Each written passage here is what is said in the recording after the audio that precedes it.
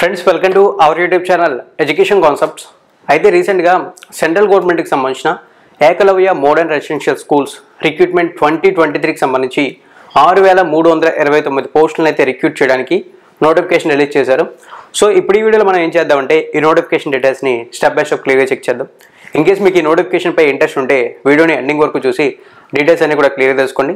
మీకు ఏ చిన్న డౌట్ వచ్చినా సరే కామెంటేషన్ కామెంట్ చేసి మీ డౌట్ని క్లియర్ కూడా చేసుకోవచ్చు. ఇన్ కేస్ మీరు అప్లై చేయాలన్నా నోటిఫికేషన్ డీటెయిల్స్ అనేది చెక్ చేసుకోవాలనుకున్నా సరే డిస్క్రిప్షన్లో మీకు లింక్ అవైలబుల్గా ఉంటుంది. ఫ్రెండ్స్ ఇక ఇప్పుడు మనం ఈ నోటిఫికేషన్ మెయిన్ డీటెయిల్స్లోకి ఒకసారి వెళ్ళినట్లయితే ఈ నోటిఫికేషన్లో యాక్చువల్లీ మనకి రెండు కేటగిరీ పోస్ట్ని రిక్రూట్ చేస్తున్నారు. అందులో ఒకటి టీచింగ్ కేటగిరీ రెండోది నాన్ టీచింగ్ కేటగిరీ అయితే టీచింగ్ కేటగిరీలో చూసుకున్నట్లయితే మనకి టీజీటీకి సంబంధించినటువంటి పోస్టులు ఉన్నాయి. ఈ టీజీటీ అంటే మనకి ట్రైన్డ్ గ్రాడ్యుయేటెడ్ టీచర్. టోటల్గా ఐదు వేల ఆరు వందల అరవై పోస్టులు ఉన్నాయి ఇక నెక్స్ట్ నాన్ టీచింగ్ కేటగిరీ. ఈ నాన్ టీచింగ్ కేటగిరీలో మనకి హాస్టల్ వార్డెన్కి సంబంధించి పోస్టులు ఉన్నాయి ఇవి మేల్ క్యాండిడేట్స్కి సపరేట్గా ఫిమేల్ క్యాండిడేట్స్కి సపరేట్గా మెన్షన్ అయితే చేశారు. బట్ ఫస్ట్ ఆఫ్ ఆల్ మనం నాన్ టీచింగ్ కేటగిరీలో ఎన్ని పోస్టులు ఉన్నాయని మాట్లాడితే నాన్ టీచింగ్ కేటగిరీలో టోటల్గా మనకి ఆరు వందల అరవై తొమ్మిది పోస్టులు ఉన్నాయి అయితే అందులో మనకి హాస్టల్ వార్డెన్ మేల్కి సంబంధించి మూడు వందల ముప్పై ఐదు హాస్టల్ వార్డెన్ ఫిమేల్కి సంబంధించి మూడు వందల ముప్పై నాలుగు. టోటల్గా ఈ Eklavya modern residential school recruitment twenty twenty త్రీలో భాగంగా ఈ నోటిఫికేషన్లు అయితే మనకి ఆరు వేల మూడు వందల ఇరవై తొమ్మిది పోస్టులను అయితే భర్తీ అయితే చేస్తున్నారు. ఫ్రెండ్స్ ఇప్పుడు కనుక మనం ఈ జాబ్స్కి సంబంధించిన ఎలిజిబిలిటీ డీటెయిల్స్ని చెక్ చేస్తే ఫస్ట్ ఆఫ్ ఆల్ మనం టీజీటీ అంటే ట్రైనడ్ గ్రాడ్యుయేటెడ్ టీచర్ పోస్టులకు సంబంధించి డీటెయిల్స్ తెలుసుకుందాం. ఈ ట్రైనడ్ గ్రాడ్యుయేటెడ్ టీచర్ పోస్టులకి ఎవరైతే అప్లై అయితే చేయాలనుకుంటున్నారో వాళ్ళు up to thirty five years వరకు అప్లై అయితే చేయొచ్చు అని చెప్పి మెన్షన్ చేశారు. దానితో పాటు ఏవైతే రిజర్వేషన్ ఉన్న communities like SC ST OBC ఎవరైతే ఉంటారో వీళ్ళకి గవర్నమెంట్ ఆఫ్ ఇండియా రూల్స్ ప్రకారం ఈ రిలాక్సేషన్స్ అప్లికేబుల్ అవుతాయని చెప్పారు. ఇక ఇప్పుడు మనం ఈ ట్రైనడ్ గ్రాడ్యుయేటెడ్ టీచర్ పోస్టులకు సంబంధించిన ఎడ్యుకేషన్ క్వాలిఫికేషన్స్ గురించి మాట్లాడితే డిగ్రీ కంప్లీట్ చేసిన వాళ్ళు ఈ జాబ్స్కి అప్లై చేయొచ్చు ఎట్ ది సేమ్ టైం మీరు ఇంకొక విషయం గుర్తుపెట్టుకోవాలి. ఇవి టీచింగ్ కేటగిరీ జాబ్స్ కాబట్టి మీరు బ్యాచులర్ ఆఫ్ ఎడ్యుకేషన్ కంప్లీట్ చేసి ఉండాలి అంటే బీఈడీ అయితే కంప్లీట్ చేసి ఉండాలని చెప్పి మెన్షన్ అయితే చేశారు.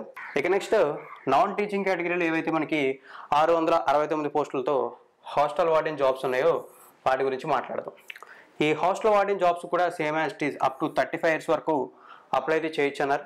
అదేవిధంగా రిజర్వేషన్ ఉన్న communities like SC ST OBC వాళ్ళకి గవర్నమెంట్ ఆఫ్ ఇండియా రూల్స్ ప్రకారం ఏజ్ రిలాక్సేషన్స్ అప్లికేబుల్ అవుతాయని చెప్పారు. ఇక ఎడ్యుకేషన్ క్వాలిఫికేషన్ చూసుకుంటే ఈ హాస్టల్ వార్డెన్ జాబ్కి మీరు అప్లై అయితే చేయాలనుకుంటే డిగ్రీ కంప్లీట్ చేస్తే సరిపోతుంది. డిగ్రీలో మీరు బీఏ చేశారా? బీఎస్సీ చేశారా? అటువంటిది ఏమీ లేదు. మీరు ఎనీ డిగ్రీ క్వాలిఫికేషన్తో ఈ హాస్టల్ వార్డెన్ జాబ్స్కి అప్లై అయితే చేయొచ్చు అని చెప్పి మెన్షన్ అయితే చేశారు. ఫ్రెండ్స్ ఇక ఇప్పుడు మనం ఇందులో ఏవైతే జాబ్స్ అయితే ఉన్నాయో ఈ జాబ్కి సెలెక్ట్ అయితే శాలరీస్ అనేవి ఏ విధంగా ఉంటాయి అనే దాని గురించి మాట్లాడదాం. ఐ మీన్ హాస్టల్ వార్డెన్కి సెలెక్ట్ అయితే ఎంత శాలరీ ఉంటుంది? లేదా టీజీటీ పోస్ట్కి సెలెక్ట్ అయితే ఎంత శాలరీ ఉంటుంది దాని గురించి చెక్ చేస్తే ఇన్ కేస్ మీరు ట్రైనడ్ గ్రాడ్యుయేటెడ్ టీచర్కి సెలెక్ట్ అయితే ఐ మీన్ టీజీటీ పోస్ట్కి సెలెక్ట్ అయితే లెవెల్ సెవెన్ ప్రకారం శాలరీ ఉంటుంది. లెవెల్ సెవెన్ ప్రకారం శాలరీ అంటే బేసిక్ పే వచ్చి నలభై నాలుగు వేల తొమ్మిది వందల రూపాయలు. మ్యాక్సిమం ఒక లక్ష నలభై రెండు వేల నాలుగు వందల రూపాయలు. అంటే విత్ ఆల్ అలవెన్సెస్ దగ్గర దగ్గరగా మీరు ఈ టీజీటీ జాబ్కి కనుక సెలెక్ట్ అయితే ఐ మీన్ మీకు ఎలిజిబిలిటీ ఉండి అప్లై అయితే చేసి మీరు జాబ్ కొట్టగలిగితే మీకు ఇనీషియల్గానే ఒక డెబ్బై నుంచి ఎనభై వేల మధ్యలో శాలరీ వస్తుంది. ఇక నెక్స్ట్ హాస్టల్ వార్డెన్ ఈ హాస్టల్ వార్డెన్ గురించి చూసుకుంటే లెవెల్ ఫైవ్ ప్రకారం శాలరీ ఉంటుందన్నారు. లెవెల్ ఫైవ్ ప్రకారం శాలరీ అంటే బేసిక్ పే ఇరవై తొమ్మిది వేల రెండు వందలు మ్యాక్సిమం తొంభై రెండు వేల మూడు వందలు. అయితే ఈ మ్యాక్సిమం పే గురించి బేసిక్ పే గురించి పక్కన పెడితే ఈ హాస్టల్ వాడిన జాబ్కి ఎవరైతే సెలెక్ట్ అవుతారో వాళ్ళకి చూసుకుంటే with all allowances I mean house rent allowances daily allowances transport allowances ఇవన్నీ కలుపుకొని యాభై నుంచి యాభై ఐదు వేలు లేదా అరవై వేల మధ్యలో శాలరీస్ అనేది ఉంటాయి. మనం ఈ నోటిఫికేషన్లో ఉన్న టీచింగ్ కేటగిరీకి సంబంధించిన టీజీటీ జాబ్స్కి అప్లై చేయాలనుకుంటే పదిహేను వందల రూపాయలు అప్లికేషన్ ఫీజుగా మెన్షన్ అయితే చేశారు. సో ఇక్కడ మీరు చూడొచ్చు.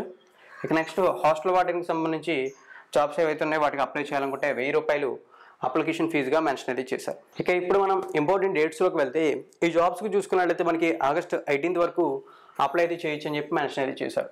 సో ఓవరాల్గా ఏదైతే ఈ ఏకలవ్య మోడర్న్ రెసిడెన్షియల్ స్కూల్స్ నుంచి మనకి ఈ teaching and non teaching category పోస్టుల రిక్రూట్మెంట్ రిలీజ్ అయిందో దానికి సంబంధించినటువంటి ఫుల్ డీటెయిల్స్ అయితే ఇవి. ఇన్ కేస్ మీకు ఏమైనా డౌట్స్ ఉంటే తప్పనిసరిగా కామెంట్ సెక్షన్లో కామెంట్ చేయండి.